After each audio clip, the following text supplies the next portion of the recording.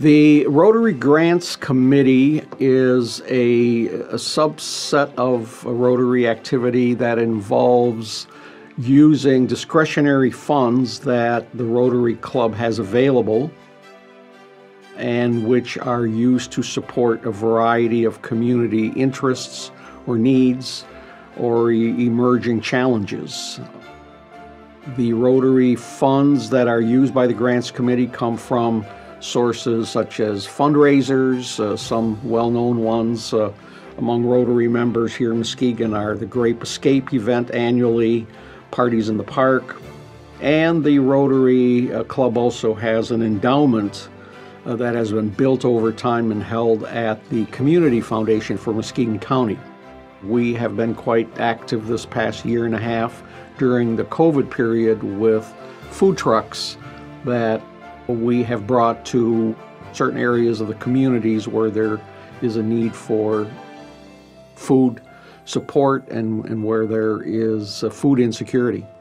Rotary has a website, and on the website is an area called grants where nonprofit organizations may apply following a protocol, a, a set of instructions that are on the website if they would like to apply for financial support to help launch a new project or perhaps request support for special project of, of significance to the community.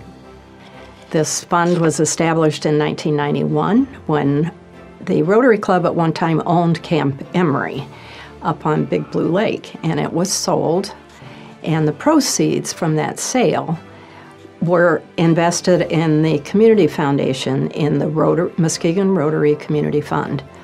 And the assets that we gain each year from the investment is what is used then for grants. We usually have, oh, maybe three to six or eight applicants per year. Those are reviewed by the grants committee. And if they fit our guidelines and if we have the money, we are delighted to award grants. Now, we did decide a few years ago, a, a very large committee of uh, interested Rotarians got together and talked about this and what we wanted to fund. And we decided at that time, rather than dribble it out in hundreds of dollars, we wanted to make grants that would be meaningful for the community. And we have done that. We have made some pretty significant grants over the years. In fact, since 91, I have some numbers because they are important. We have made $472,000 in grants, which um, for investing in this community is, is, as I said, it's pretty significant. Some examples that we've done we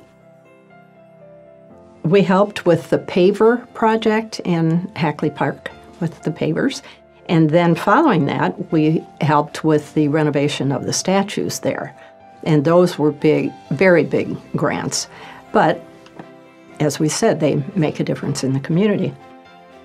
We have helped with the Rotary, uh, the YMCA Rotary Camp project a number of years ago. The Hackley stage that was built by the Party in the Park Committee a few years ago received a good sized grant from us.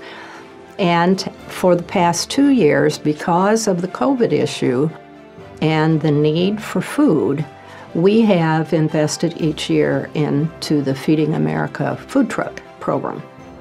And as my husband says, I'd love to give away money. So for me, it's enjoyable to be able to help somebody in need. And that's what we do. The Rotary Program Committee does a really great job paying attention to what's going on in the community and bringing those aspects into the club by presenting them as programs. We receive recommendations from other individuals within the club, and we also really look at finding a balance between informing people about important projects that are happening in the community, whether it's economic development related um, or entrepreneurship, nonprofit organizations. And we also try to balance that with what's going on in Rotary International and within our club as well. While definitely the challenge has been operating a program committee in the middle of a pandemic when we went from being all in person to having to pivot and go virtual through Zoom.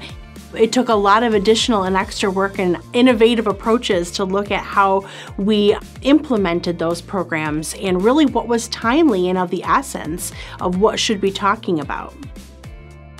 I think that our program committee has done a really great job highlighting individuals in our community that are doing some excellent work and really paying attention to diversity, equity, and inclusion, and really trying to highlight individuals in our community that are doing everything that they can to try to be more inclusive and more aware of how to engage individuals from diverse backgrounds.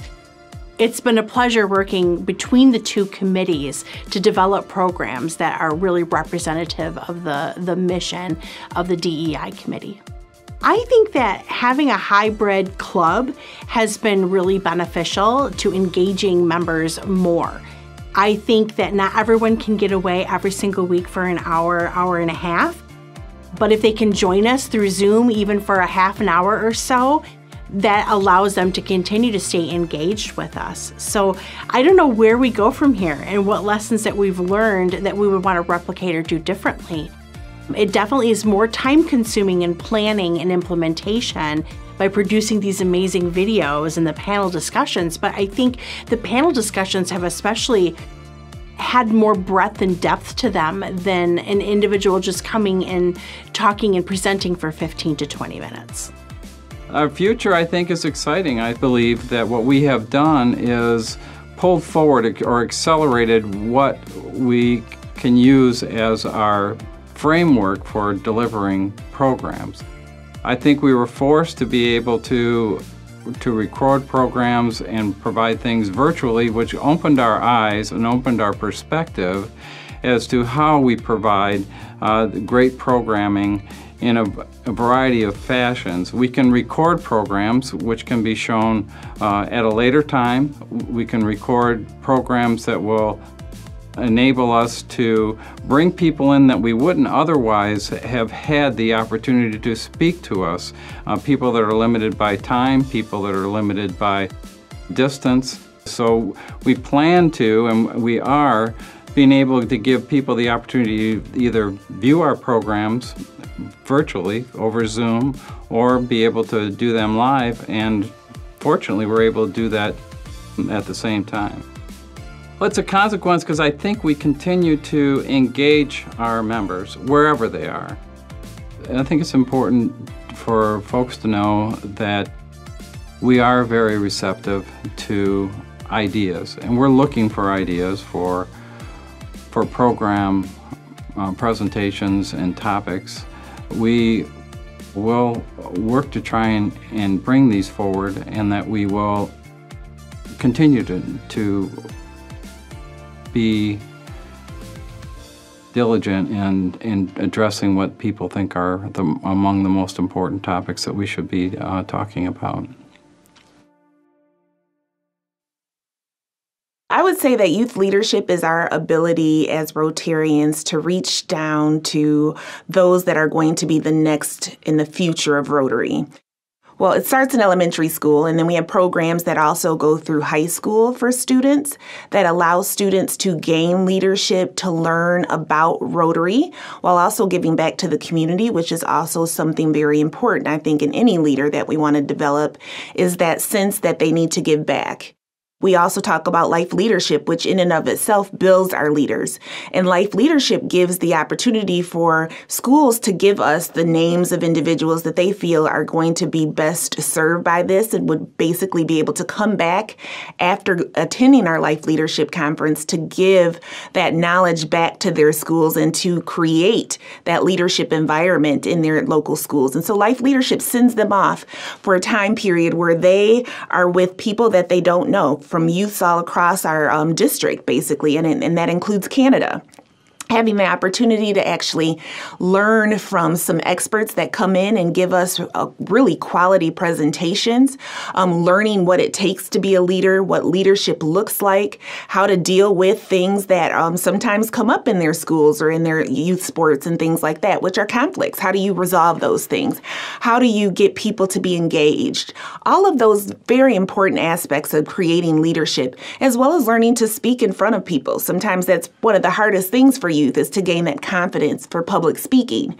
But you get those opportunities, problem solving, conflict resolution, things that leadership is really all about if you're going to be effective. And they learn those things over a period of time away at a camp. They come back into their schools, they come back to Rotary and tell us about that experience. And hopefully, back into their schools, they're really changing the dynamic based on the things that they learn at the Life Leadership Conference.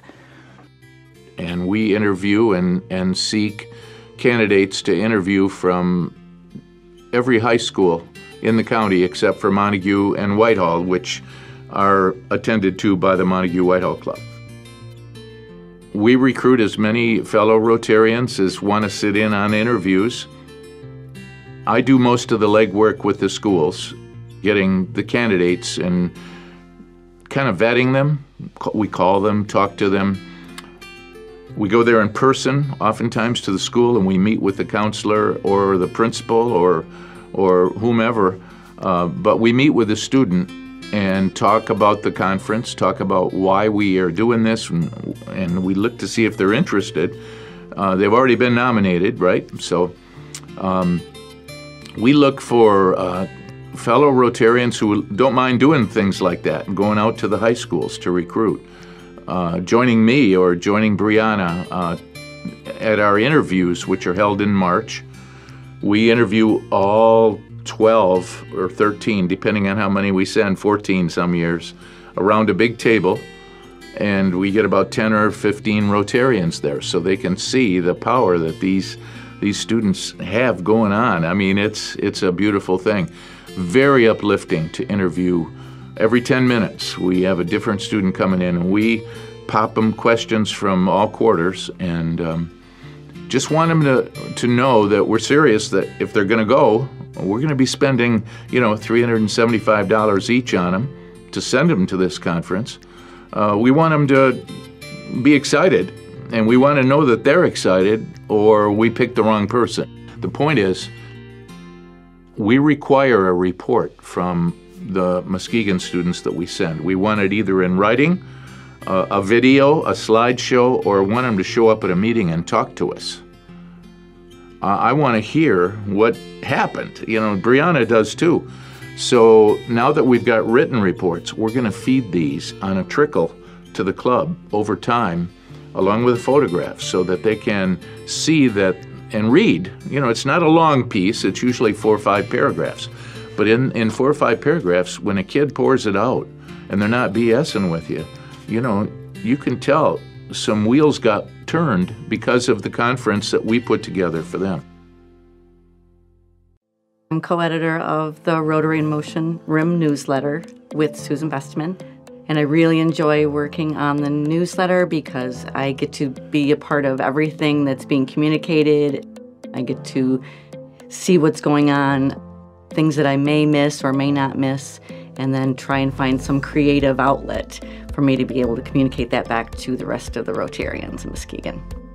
The challenge is that we have to publish it every week. And thank goodness that we have an amazing team of reporters. It actually works amazing. We, we both have said to ourselves, we don't know how Bill did it for so long by himself. He, he approached both of us to be reporters. And to be honest, that was really a good way for me to make sure my attendance was better because you can always find a reason to not go to the meetings. Oh, work this or this home thing, then and then you you give up. But when you have that commitment that you have to be there every couple of weeks, and and I think being part of a, a committee or a group pushes us to get there and know that we have to pull our weight. And Susan and I, we we trade seasons. She's busier in the summer, and I'm busier in the winter. And yet we both have that idea that we're all part of a team and whatever it takes to get it done will will help do that. We love having a big team. As you know, it's a big job to report, and, and thankfully, we don't have to report every week.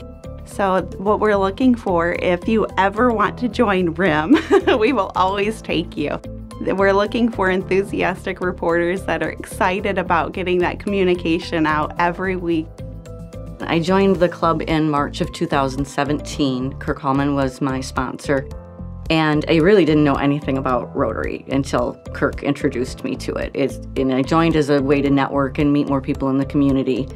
And shortly after I joined, I, I had a traumatic brain injury. So I was out for most of the summer, and that was in May, just a few months after I joined.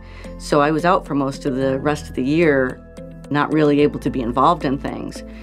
By the time I got back, I was struggling to find a committee to join, and I didn't know what was available. I was having trouble finding where were, were there openings? What did I want to do? I really didn't know. And then when Bill Johansson approached me, I said, Yeah, I think I can do that.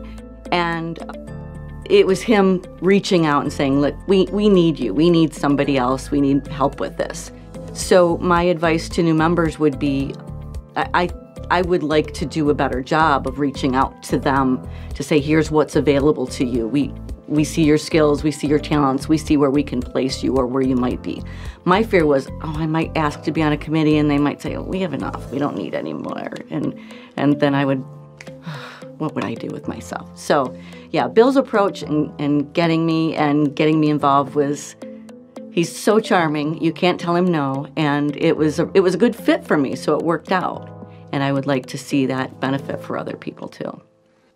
I'm so thankful and so grateful to be part of this. And Rotary's pulled out some of my talents and that I didn't even realize that I had. When I first joined Rotary, I did not realize how big it was. And not only how big it was in our community, I didn't realize some of these things that Rotary does for our community.